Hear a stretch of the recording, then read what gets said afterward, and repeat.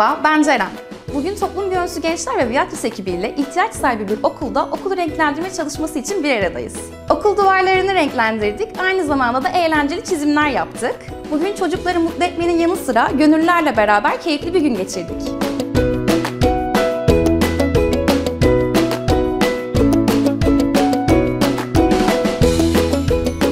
Merhaba, ben Buket Güzey. Ee, Viatris'te çalışıyorum. Bugün Toplum Gönüllüleri Vakfı'yla çok güzel bir proje yapıyoruz. Bir okulu renklendiriyoruz ve çok keyifliyiz, çok mutluyuz. Çünkü çocukları güldüreceğiz. Pazartesi günü onların gözlerindeki sevinci görmek için sabırsızlanıyoruz.